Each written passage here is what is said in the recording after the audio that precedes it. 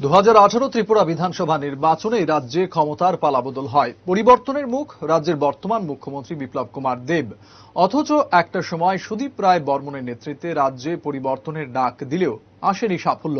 ভুল রাজনীতির কারণে বারবার ব্যর্থতার মুখ দেখতে হয়েছে সুদীপ বাবুকে। এমনটাই অভিমত পর্যবেক্ষক মহলের। মুখ্যমন্ত্রী বিপ্লব কুমার দেবের রাজনৈতিক বুদ্ধিমত্তা নিয়ে সমালোচক মহল প্রশ্ন তুললেও সঠিক সময়ে সঠিক সিদ্ধান্ত নিয়ে যাবতীয় সমালোচনা ভুল প্রমাণ করেছেন মুখ্যমন্ত্রী।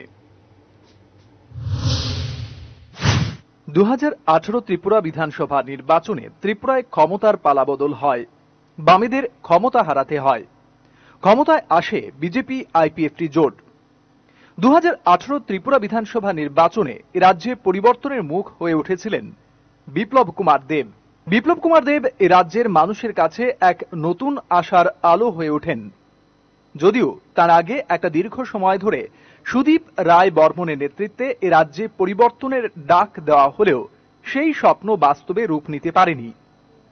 বিশ্লেষক মহলের মতে, দীর্ঘদিন ধরে রাজনীতি করা সত্ত্বেও ভুল রাজনৈতিক গত কৌশলের কারণে বারবার ব্যর্থতার মুখ দেখতে হয়েছিল সুদীপ বাবুকে।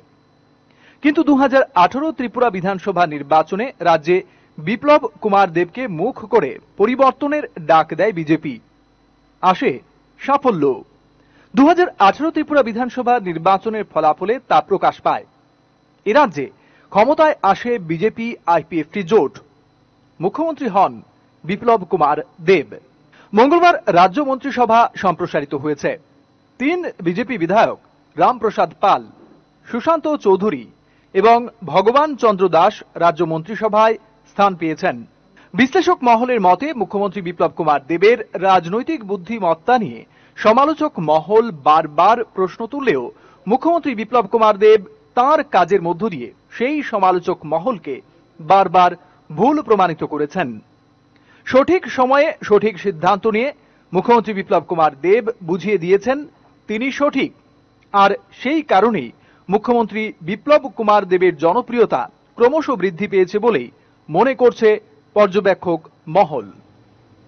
Bureau report headlines Tripura national.